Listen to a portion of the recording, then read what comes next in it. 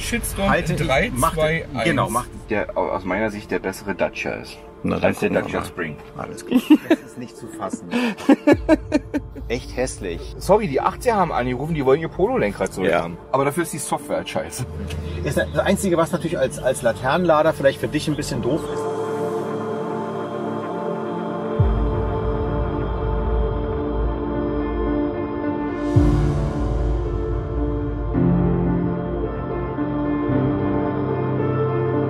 Bereits eine Serie als Laternenparker ohne eigene Lademöglichkeit mit meinem Hyundai Ioniq gemacht habe, tausche ich diese Woche mein Fahrzeug gegen den MG ZS EV, einem Elektro-SUV mit 41 Kilowattstunden nutzbarer Batterie. Und ihr begleitet mich und schaut mal, wie gut ich damit klarkomme und ob das funktioniert. Viel Spaß! Komme raus und erblasse vor der Erhabenheit eines chinesischen SUVs. Ich wusste, dass du das machst und deswegen habe ich meine Kamera auch schon bereit gehalten. Ich mache die jetzt mal an. Hallo Steve. Hallo Julian. Ja, so, mal gucken. Ich habe ihn noch nicht gesehen. Mach mal zu hier. Ist ja wie Weihnachten hier. oh. Oh, alter Schwede. Nicht schlecht. Er macht ja schon mal irgendwas her, oder? Ja, Schon mal was her. Die Farbe finde ich schön. Ich habe mir gerade mal die Farben im Konfigurator angeschaut und fand das Rot im, auf, dem, auf dem Web echt hässlich. Aber hier sieht richtig gut aus. Also doch nicht schwarz. Genau, ich setze mich mal hinten rein. ja.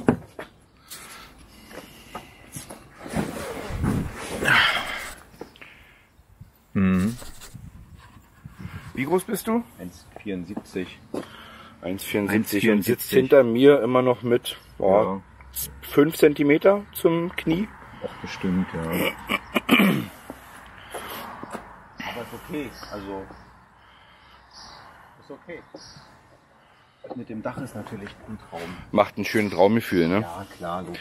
Das ist eine normale Sitzposition. Das ist meine normale Fahrposition, ja. ja. Man musste dich schon strecken, dass er die Pedale Ja. kommst. Ja, du weißt doch, du weißt doch. Ja, ja, gut. ungefähr 1,20 Meter kleiner als du. ja, ich sag mal so, äh, ja, es ist ein bisschen, weiß ich nicht, ist es jetzt falsch, wenn ich sage, es ist ein bisschen oldschool, aber nicht schlecht. Aber es ist Man okay. muss, ich, ich weiß nicht seit ich wann, gar nicht so mega ich pur, weiß nicht ja. seit wann, aber ähm, man muss dazu sagen, den gibt's auch als Verbrenner in China. Ja, Dafür ist es aber umso interessanter, dass er halt eben hinten keinen Mitteltunnel hat. Ja, das ist schön, das stimmt, ja. Siehst du, das ist mir jetzt gerade so definitiv gar nicht aufgefallen eben, man achtet schon gar nicht mehr drauf. Aber das ist richtig, ja. Aber sonst so von der Verarbeitung her, es geht jetzt nicht ums Oldschool, das ist ja Ja, Geschmackssache, das ne? ist reine Geschmackssache. Aber einfach so, das, so wie es aufgebaut ist, wie es, wie es anmutet. Ich finde Ja. die Tasten, ja, da siehst du so ein bisschen ja, hm, du, die das, ist ja beim Preisklasse. ID, das ist ja beim ID auch blöd, ja. Also das gefällt mir ja beim ID auch überhaupt gar nicht. Das, diese Diese Touch-Tasten. Diese Touch-Tasten, das ist irgendwie, es passt irgendwie nicht dazu. Das ist wie aus einem, aus einem anderen Auto irgendwie. Aber das ist, letztlich sind das so Sachen, wo du sagst, Verarbeitung gucke ich nachher noch mal so ein bisschen. Also so vom Sitzen finde ich erstmal okay. Das ist natürlich schön hier oben und das, das mutet auch toll an. Das ist nicht zu fassen. Oh, Scheibenkleister. Das ist nicht schön. Also, Ja, wenn du ein ist- bisschen, wenn ja, du ein ja, bisschen handwerkliches Geschick hast und zu viel Styropor, Dann kannst du, kannst du die hier es locker, umbauen, soll ja. ich mal zumachen, die ja, Tür? Ja, am besten packst du es. Eben noch im ID gesessen, hier jetzt drin. Ja. Also ich sag mal, ähm, ich habe keine riesengroßen Ansprüche. Ich finde es okay, wie es aussieht. Es ist übersichtlich. Ich habe ja noch nie in dem Wagen gesessen, das erste Mal jetzt. Ich persönlich finde sogar dieses quasi analoge äh, Instrumentencluster da vorne, finde ich persönlich schön, mag ich gerne, habe ich überhaupt kein Problem mit. Ähm, ich finde das hier unten an dem Radio, finde ich, naja, es sieht so ein bisschen aus, als hätte man da so ein Radio eingebaut, weißt du, was man früher da so reingenommen hat. Aber Mann, das ist alles irgendwo, wo du sagst, das muss es jetzt nicht ausmachen, ja. Von den Materialien her finde ich da, wo man, wo man viel anfasst, ja, wo man wirklich viel seine Hände, seine Arme hinlegt und so. Da ist es weich, da ist es okay. Und an den Stellen, wo man jetzt nicht irgendwie ständig rangrabbelt, wie was weiß ich hier unter der Lüftung oder hier vorne an der Tür, Äh, da ist es Hartplastik. Das ist beim ID letztlich ähnlich und finde ich jetzt auch nicht weiter problematisch. Jetzt sag einfach mal, geht ja nicht ums Detail, sondern jetzt sag einfach mal so dein Eindruck. 23.000 Euro, das Auto, was du dafür bekommst. Absolut so vom, vom Eindruck her. Wir sind ja eben eine Runde gefahren. Absolut okay. Das heißt also, Absolut aus okay. deiner Sicht, Elektromobilität, absolut, also ich halte das für bezahlbar. Wenn man so sieht, was sonst Leute so für einen Golf oder sowas ausgeben oder für einen Astra oder keine Ahnung, was man in so einer Klasse kauft, äh, finde ich das. Du hast vorhin so ein schönes Beispiel gebracht, hast es mit dem Renault Captur, glaube ich, verglichen. Ja, und ich sagen so, wo ist das Problem? Ja, also äh, alles prima, alles super. Finde ich in. Ordnung, gefällt mir. Also ich finde, ist jetzt mal völlig unabhängig davon, ob man das jetzt irgendwie geil findet vom Design her oder nicht, aber was du fürs Geld bekommst, wie geht die Anmutung haupt, ist, uns hauptsächlich darum, ist die E-Mobilität bezahlbar. absolut. Also in der Und- Klasse absolut überhaupt gar keine Frage. Aber ich würde Und vor, ja, ähm, ähm, ja, alltagstauglich, also Alltag, alltäglich 200, 250 Kilometer, sagen wir mal, ich, reduziere jetzt mal ein bisschen, was Ja. ich rausgefahren Ja. habe, Ja. weil kommt ja immer auf den Fahrstil an. Ja. Ne? Wenn du jetzt ungeübt bist, sind es wahrscheinlich 200, 250 Kilometer, ist aber völlig... Ja, wir wissen es doch. Wir wissen es doch, was brauchst du im Alltag. Und selbst wenn du äh, als Laternenparker alle zwei Tage zum Laden gehst, hast du immer noch mindestens, denke ich mal, so 100 Kilometer drin. Da hast du eine gute Restreichweite, falls mal du doch mal dringend noch mal irgendwo hin musst. Du kannst mit einem Schnelllader dann einigermaßen fix nachladen. Ähm, ist das Einzige, was natürlich als, als Laternenlader vielleicht für dich ein bisschen doof ist, er lädt ja nur, hast du gesagt, einphasig. Und Thema Blockiergebühr, vier Stunden. Ja, Das ist, Das ist richtig. Da wäre schön, wenn er mit elf laden würde. aber nach den neuen Ja. NBW-Tarifen ist ja, ist ja EWE Go jetzt wieder der günstigste Anbieter und die haben ja keine Blockiergebühr. also solange es solche Auswahlmöglichkeiten gibt, ist das in Ordnung. Aber da würdest du dir dann vielleicht doch wünschen, oder du bist mal irgendwo unterwegs und bist mal an irgendeiner AC und willst nochmal nachladen, dann ist natürlich so mit drei oder so, dann dann, dann wäre 11 kW natürlich schon wünschenswert. schön. Abgesehen davon, dass wir jetzt keine Langzeiterfahrung haben. Wie ist das Ding nach drei Jahren? Wie es nach fünf Jahren? Ja. Aber so, wenn du in den Laden gehst, das ist so, also nehmt's mir nicht übel, Renault. Verstehst du? So, Ja. so Renault-Stil. Es ist nicht das, nicht das teuerste, es ist nicht das billigste, es ist von der, ich bin ja auch nur die Zoe gefahren, vier Jahre. Es ist nicht von der Qualität her das Beste, aber bei weitem nicht das Schlechteste. Und das sehe ich, was ich bei Renault so bei der Zoe gesehen habe, sehe ich hier eigentlich so vom Eindruck her genauso. Für mich ist es ein absolut taugliches, auf den Blick, taugliches Familienauto, wo du zu viert, sogar mit Hund, hast du fünf Dinger. Wunderbar. Zur Not kann sich auch noch mal einer hier dazwischen packen. Ehrlich, alles prima. Ich würde aber vorschlagen, du setzt dich jetzt mal nach der Woche, fast der Woche MG mal in den ID. Ich habe den Großen jetzt mal in den ID gesetzt. Nach seiner, nach seiner Woche. Ganz nach unten pumpen. Moment. Jetzt. Da musst du erstmal den Sitz ganz nach unten pumpen, ansonsten, wenn der ein Glasdach hätte, würde ich oben rausgucken, ja? Ja. Wenn, ich- wenn ich auf, auf Julians äh, Platz mich setze. So. So, Steve, jetzt erzähl mir doch mal so deine Eindrücke, wenn du jetzt hier drin sitzt, nach deiner Woche MG, sitzt jetzt hier im deutschen Volkselektroauto. Was hatten wir vorhin gesagt? 3.000, 4.000 Euro teurer, bisschen größerer Akku. Du hast hier etwas Ja. Futuristisches, softwaretechnisch. Mittlerweile haben sie ja ganz gut was hingelegt. Ähm, kann er einige Heck angetrieben, hat Punch, hat Ladeleistung. Und das, was ich jeden Tag in der Hand habe, das, dass es hier so Hochglanz ist und so was. Sei es drum, ob das jetzt schnell zerkratzt, aber damit könnte ich mich noch anfreunden. Genauso wie hier diese Stoffe, das ist so leicht ein bisschen weich und so was. Ich habe kein Problem damit, dass es hier oben hart ist. Ja, ich, weil, ja, ja. ich zeig's mal kurz, da lege ich ja so den mit dem Arm dran. Ja. Da habe ich kein Problem mit. Wenn hier oben der Arm drauf liegt, Ja, stört mich überhaupt nicht. Mich stört auch nicht, dass es hier hart ist oder sowas. Ne? ja. Aber, was ist das denn? Hm. Also sorry Leute, aber meine persönliche Meinung. sehe ich geht genauso. Rein subjektiv. Sehe ich ne? ganz genauso. Das Ding, Ja, das geht gehört gar nicht. Aus meiner Sicht in den, das- das- also sorry, die 80er haben angerufen, die wollen ihr Polo-Lenkrad zurück Ja, haben. richtig. Ja? Richtig, Also das genau. ist, das ist was, Ja. wo ich sage, geht gar nicht. Ja, und das ist auch genau, ehrlich gesagt, jetzt nach äh, meinen ersten Wochen in dem ID, obwohl es natürlich ein Luxusproblem ist, Aber das ist dein größter Painpoint. ja, das Lenkrad finde ich ganz So, schrecklich. diese Tasten Furchtbar. hier, ich habe es ja schon mit vielen diskutiert. Hm. mögen sie modern sein oder auch nicht, aber irgendwie meine Fingeranatomie m, kommt Ja. so nicht ganz damit klar. Ja. Dieses Feedback ist irgendwie für mich ein busy, busy fishy. Nee. So. Du hast ein Fahrzeug, was Punch hat, was Ladeleistung hat, womit du auch, ich sag mal, mindestens deine 250, 350 Kilometer, 350 Kilometer kommst. Ja, locker. Ähm, ist alles okay im Einstiegssegment, ne? Es ist absolut, kommt halt drauf an, wo die einzelnen, wo die einzelnen äh, Präferenzen liegen, ja. Präferenzen liegen, ne? Genau. Und da drüben hast du halt genauso ein Fahrzeug, was völlig in Ordnung ist, was aber hier wieder Hm. ein bisschen mehr Hochwertigkeit versprüht, finde ich, Hm. im Innenraum. Aber dafür ist die Software halt scheiße. also, ne? Also irgendwo sind wir ehrlich, alle Fahrzeuge haben ja irgendwo etwas. Ne? Ja. Und so richtig Ja. lassen sich Ja. alle nicht miteinander vergleichen. Aber wir können sagen, ab knapp über 20.000 nach Förderung, ne? Ja, das muss man klar dazu nach- sagen. dazu sagen, nach Förderung, aber knapp über 20.000 ist die Elektromobilität inzwischen erschwinglich. Egal ob für den SUV-Fan Mhm. oder für den Hatchback-Fan, den Kompaktklasse-Fan. Ähm, es gibt am Markt wirklich ganz viele Sachen. So, und jetzt würde ich aber mal sagen, jetzt gucken wir mal, was ist denn der Unterschied zwischen China und Deutschland? Der hat 3000, 4000 Euro mehr gekostet nach Förderung. So. Was hast du denn hier drinne? Hast du hier Autolicht? Hast du. Mhm. Regensensor? Hm, Bin ich mir gar nicht so sicher. Ich sehe nämlich kein Glaube Auto. nicht. Hier auf dem Schalter. Aber ich habe einen Schalter, um den da anzuschalten. Und das geht automatisch. Wenn, wenn es regnet, sagt mein Gehirn automatisch, Mach den an. okay, okay, so, alles klar. Also du hast induktive Ladeschale.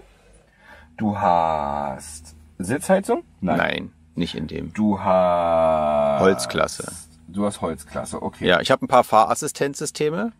Also Notbremsassistent, Spurhalteassi. Spurhalte-Assi ist dabei, ja, und äh, Tempolimit, Tempolimiter, kein Tempomat, aber Tempolimiter. Ähm, Du hast kein Tempomat. Nein, ich habe aber ein Tempolimiter. Und ehrlich gesagt, inzwischen finde ich den Tempolimiter sogar besser als den Tempomat. Aber das ist vielleicht mal ein Thema für ein anderes Video. Ja, okay. Ähm, Totwinkelassistent, Nein, Querverkehrswarner, nein. okay. Menge Piepser, aber. Rückfahrkamera, Nein, aber viele Piepser. Piepser vorne, vorne, Vorne hinten. und hinten, richtig. Mit optischer Anzeige. Okay, mit optischer Ja, Anzeige. genau, ja. genau. So, dann gehen wir jetzt mal rüber. Ja, genau. Dann gehst du wieder nach hinten. Ja.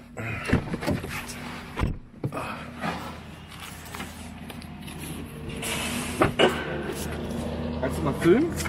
Also wir haben zwar hier, hier haben wir auf jeden Fall einen Regensensor, aber der geht nicht, der macht nicht das Schiebedach zu. Ups. Böser Fehler. War nicht mal gewollt. Du musst es hier anmachen.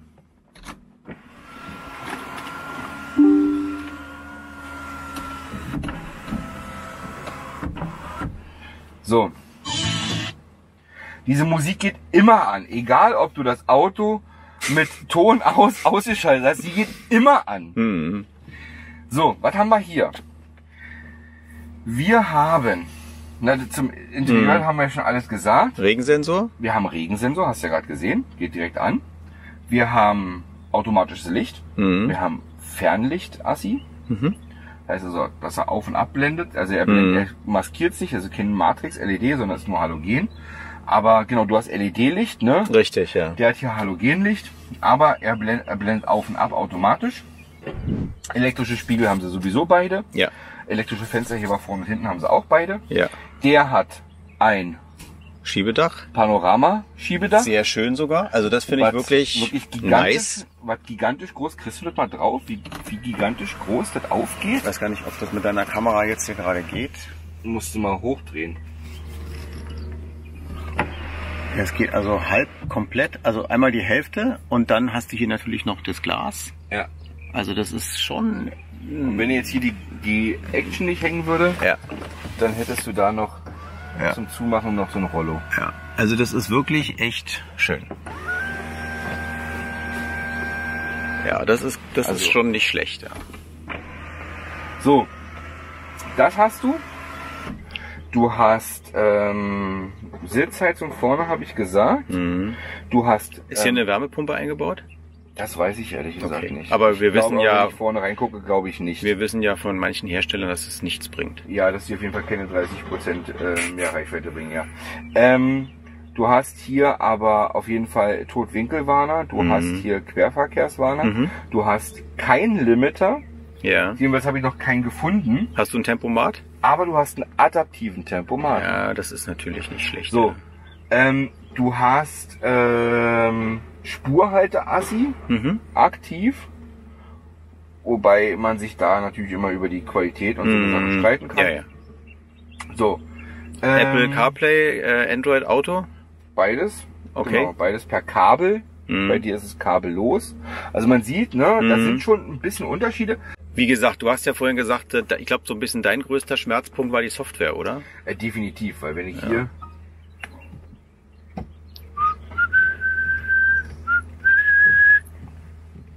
Ja, die ist Echtzeit. Das ist so wie Booten von früher. Ist ne? ja nicht so, dass, dass der Wagen schon eine halbe Stunde an ist, ne? Mhm. So, jetzt soll ich mir am besten diesen Text durchlesen, der mir sagt, dass ich mir diesen Text während der Fahrt nicht durchlesen soll. Hm, ja? Das ist so, das ist so, wo du denkst, mach's doch noch kleiner. Schreib doch noch zwei Sätze dazu. So. Und dann haben wir ja vorhin beim Navi schon gesehen, ne? es ist nicht auf dem neuesten Stand. Nee, nicht wirklich. Mhm. Und es ist auch nicht, also ja, wenn du einmal Na, drinne hast, dann weißt du wie, eine neue Route. Hast du irgendeine Ahnung, wer dahinter, also ist es irgendwie... Keine Ahnung, überhaupt nicht. Okay. So, jetzt denkst du hier so, ich, ich dachte beim ersten Mal park hier am Ende, ich hab das eingegeben, ne? Und der dreht hier und ich denk mir so, oh, okay, er arbeitet.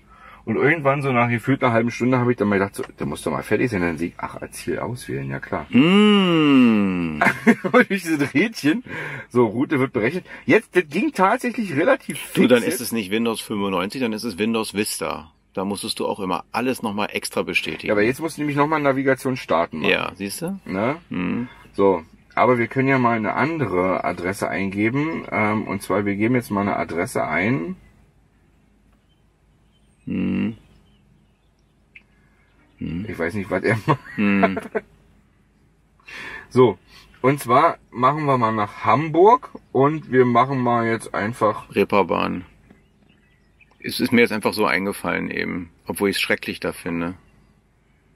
Ja, nimm, ist ja egal. War das jetzt das zweite E? Da. So, Nicht, dass uns jetzt einer falsch versteht. Wir fahren natürlich jetzt nicht zur Als Reeperbahn. Wir sind glücklich verheiratet. also anscheinend hat er hier irgendwie echt guten Empfang, oder jetzt? Weil letztens da hat er ewig gebraucht, um eine, um eine Mhm. Route zu berechnen. Oh, das geht relativ fix. Das sieht so ein bisschen aus äh, wie mein erstes TomTom.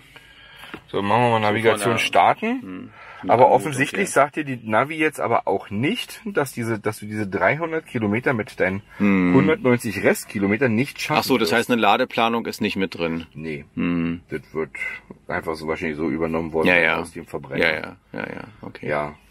Ja, aber wie gesagt, äh, an der Stelle muss man dann wieder sagen, eh jetzt manche sagen, äh, wir reden über 23.000 Euro. Das ist eine Menge Geld, aber wir sitzen dann trotzdem in einem super geräumigen, gut verarbeiteten, zumindest nach unserem jetzigen Eindruck, gut verarbeitetem Elektrofahrzeug mit durchaus akzeptablen Fahr Fahrleistungen. Wir kommen jetzt mal in den Kofferraum, Ja. warum ich meine steile These noch ein bisschen ähm, untermauern möchte, warum das der aus meiner Sicht der bessere Dacia ist. Na, dann als der Dacia. Spring. Alles klar. So, dann kommen wir jetzt dazu, warum der MG für mich der bessere Dacia ist. Und ja, der ist ein bisschen teurer, aber kommen wir erstmal zum ID3. Und zwar, ID3 kennt man, ne? Kofferraum geht okay, ist geräumig, ist, ist ausreichend, ne? Hier hat man nochmal so eine kleine Luke, da kann man so lotterlich sein, sein Ladekabel reinflacken. Das habe ich aber ordentlich reingelegt für dich. Wenn das für dich ordentlich ist, dann ist das so, ne? Nie Nee. wieder mit dir ein Video. Aber, aber kennt man, ne? Ist in Ja. Ordnung. So, hier, so, Passt. ole, ole, genau, passt. kriegt man alles rein. Ne? Kommen wir mal zum MG. Und da sehen wir schon, der wirkt jetzt nicht ganz so tief, aber äh, äh, tiefer, aber nicht ganz so ne, von Nicht der so Höhe hoch, genau, ja. Ne, so. Ich sehe schon mal hier, das finde ich ja immer sehr gut. Ich persönlich mag ja so eine kleinen Seitentaschen. Genau. Finde ich ja sehr gut, um da mal Kleinigkeiten, Schuhe reinzustopfen. Ja, und vor allen Dingen, du siehst jetzt, dann denkst du, hä, das trennt jetzt ja richtig, Mhm. weil Oh, das ist gut. Und deswegen sage ich, der MG ist aus meiner Sicht der bessere Dacia, weil aus meiner Sicht, wer ist denn, wer ist denn der, der typische Dacia-Kunde? Der typische Dacia-Kunde sind, ich möchte jetzt niemand zu nahe treten, aber das sind Leute, die halt oftmals auch Handwerker sind, die vielleicht Hausmeister sind, die Familien haben, die viele Sachen transportieren müssen. Ne? Und dafür ist Dacia bekannt, dass sie zweckmäßig sind, Ja. dass sie viel Platz haben und dass sie halt günstig sind. Und hier finde ich für die Fahrzeugklasse, für die Größe des Fahrzeugs, hast du einen fulminanten Laderaum und ähm, hier drunter sogar noch deine Ladekabel organisiert. Und das finde ich sehr schön. Du hast ein Organisationsding hier drinne, wo du immer dein Warnrecht klar sowieso und Reifendrucker, aber du hast du immer dein Notladekabel einfach dabei haben kannst. Du hast auch immer dein normales 32 Ampere Kabel immer dabei. Ich hätte es noch nicht mal hier hinten drinne, sondern ich würde mir, wenn es jetzt nicht regnen würde, ähm, vorne ein bisschen mit ein bisschen Styropor, ich habe es ja schon die Tage gezeigt, einfach irgendwie einen Schrank bauen, weil da ist genug Platz und ich finde, platztechnisch bietet der echt einiges. Muss Sichern Sie sicher? Ein Knopfdruck und das Radio ist aus. Ja. So, aber wie gesagt, ne? Also das ist das ist das, wo ich sage, die Elektromobilität, wenn jemand nochmal sagt, irgendwie wäre nicht erschwinglich, dann kommt demjenigen nicht mit irgendwie, ach ja, guck mal hier ein Model 3 oder ein, äh, oder was weiß ich nicht, ist ja schon so günstig zu haben, sondern es gibt weitaus günstigere Fahrzeuge, die ordentliches Potenzial haben, wie ich finde. Also jetzt gerade nachdem ich den Kofferraum gesehen habe, ich hätte dir schon vorher zugestimmt und ich stimme dir jetzt noch mehr zu, weil ich sehe es ja auch ein bisschen aus der aus der Situation. Ähm, unsere Kinder sind jetzt quasi raus aus dem Haus, mehr oder weniger. Und wenn ich so die letzten 20 Jahre zurückblicke, dann war natürlich als Familienfahrzeug immer eine hohe Variabilität von Vorteil für Urlaub, für alles Mögliche, was so kommt. Du musstest vernünftig an die Kindersitze ran, du musstest vernünftig mal hinten was reinpacken, früher auch mal einen Kinderwagen und so weiter und so fort. Du bist immer froh, auch heute noch, wenn man irgendwo Stauraum hat, den man nutzen kann, wo einem nichts im Weg rumliegt. Ne? Was du gerade hinten gezeigt hast, dieser doppelte Boden, das fand ich beim Prius immer hervorragend. Der hatte das nämlich auch im Prinzip drei Etagen. Ja, ähm, habe ich immer geliebt. Ähm, beim ID3 fehlt mir das ein bisschen, aber jetzt hat sich ein bisschen auch die Situation geändert. Hat sich ein jetzt bisschen entzerrt, deine Kinder sind Richtig, erwachsen. genau. Ja. Und die fahren auch meistens jetzt mit ihren eigenen Autos irgendwie durch die Gegend, wenn sie nicht irgendwie anders durch die Gegend äh, kutschiert werden. Aber so ähm, passt es jetzt für uns, aber so aus der aus der klassischen Familiensicht oder einfach auch du hast eure Handwerker angesprochen, Gewerbetreibende, die da irgendwas unterbringen wollen oder was weiß ich was alles, du willst mal schnell da was reinpacken. Ähm, absolut absolut okay. Und ich finde, es ist, du hast völlig recht, wenn du sagst, wir müssen in Anführungszeichen nicht mehr auf Tesla zeigen, sondern wir können sagen, hier, guck mal, hier für 23.000 Euro, was immer noch eine Menge Geld ist, ist gar keine Frage. Ja. Äh, aber es ist nicht lange her, da hat man gesagt, E-Autos waren so im Bereich von 30.000. Von daher, glaube ich, ist immer wichtig, sich so ein Auto genau anzugucken ausgiebig Probe zu fahren, so es denn irgendwie geht. Auch mal den Vergleich machen mit einem höherwertigen Fahrzeug, damit man mal wirklich sieht, ist es dir das wert, mehr Geld auszugeben, wenn du es kannst. Wenn du es nicht kannst, ähm, findest du dich dann auch bestätigt. Oder wenn du es nicht willst, also nicht können, das war jetzt ein bisschen blöd formuliert, aber wenn man, wenn man das nicht möchte. So, äh, ganz kurzes Fazit noch. Ja. Vergleich ID3. Sagst du, jetzt mal davon abgesehen, dass das halt eher ist ein SUV und so, ne? Aber sind die auf, eine, auf einer Augenhöhe, die Chinesen mit den Deutschen? Ich meine, Verarbeitungs also die, die, die Materialqualität können wir ja erst in ein paar Jahren beurteilen. Aber jetzt einfach so, von dem, du setzt dich rein, du guckst dir das an, du festet alles an, du fährst mal eine Runde. Was sagst du? Also ich, ich, muss, ich muss dazu allerdings eine Sache ansprechen, die jetzt ganz gefährlich ist. Ich sag's aber trotzdem. Ich habe diesmal wirklich absichtlich ein deutsches Auto gekauft, weil ich einen deutschen unterstützen wollte. Auch wenn man jetzt darüber lange breit diskutieren kann. Ich wollte es aber machen. So, Julian betreibt davon jetzt, mal, Protektionismus. davon jetzt mal abgesehen. Shitstorm Halte in ich- 3, macht, 2, 1. Genau, macht es ruhig. Ist alles in Ordnung. Ich sage auch kein Wort mehr dazu. Ja, ich finde es absolut vergleichbar. Ich finde es in Ordnung. Es ist nachher wirklich eine Frage, was gefällt einem einfach vom, vom haptischen, vom optischen her besser? Wo fühlt man sich wohler? Ähm, wo setzt du dich gerne rein? Äh, möchtest du ein bisschen eher so ein, so ein, so ein, ich sag jetzt mal so ein Allround-Design haben oder möchtest du so ein bisschen reduzierteres Design haben? Der ID3 ist ja ein bisschen reduzierter vom, vom Design her innen drin. Das ist ein bisschen Geschmackssache. Was willst du für eine Fahrzeugklasse fahren? Ich glaube, davon hängt es ab. Ansonsten halte ich das Ding absolut für, so jetzt von dem Eindruck her, für absolut konkurrenzfähig. Auf, ich habe es schon auf jeden Fall ein Ding, sich das mal anzugucken, um einfach auch den Unterschied zu sehen. Und dann muss man nachher gucken, wo sein Herz höher schlägt. Ja, aber ich denke, die sind, äh, ich meine, die haben mit Es sind nicht mehr die Fahrzeuge wie ein Rexton oder wie ein Sangyong, die schon an, angefangen haben zu rosten, wenn du vom Hof gefahren bist. Natürlich nicht. Damit sind die halt einfach nicht mehr vergleichbar. Guck dir doch einfach mal an, auch was Hyundai für eine Entwicklung durchgemacht hat in den letzten 10, 15 Jahren. ich, ich sehe das auch ja, so. Ich guck dir die sehe, Japaner an. Die ja. Chinesen sind jetzt an dem Punkt, wo, ich sag mal, die Südkoreaner und die Japaner so ungefähr vor zehn Jahren waren. Die sind schon eine Mhm. Weile im Markt drinne, aber sie machen ihre Hausaufgaben und sie machen jetzt so, ich sag mal so die letzten 10, Pro- 10 20 Prozent. Genau. Und von daher Konkurrenz belebt das Geschäft. Mhm. Aber das kann man machen. Gut. Dann danke ich dir Kann für deinen. Eindruck, Julian. Demnächst wird noch ein Video bekommen, warum ich mir auf jeden Fall kein ID3 kaufen werde. Auf jeden Fall setze ich mich jetzt wieder in den ID3 endlich raus aus diesem China-Teil hier. Nein, alles gut. Denkt dran, Kanal abonnieren ist nicht umsonst, aber kostenlos. Und dann seid ihr immer informiert, wenn es von uns für euch ein neues Video gibt. Wir befassen uns ja gerne mit Elektromobilität, Nachhalt, äh, äh, erneuerbare Energien, nachhaltige Mobilität aller Art. Ne? Und bedanken uns, wenn ihr uns einen Daumen nach oben gebt. Ihr könnt auch gerne einen Daumen nach unten geben. Dann schreibt aber in die Kommentare, was euch nicht gefallen hat, damit wir wissen, was wir ignorieren können. Ganz wichtig. Ne? Bis dann. Macht's Tschüss. gut. Tschüss.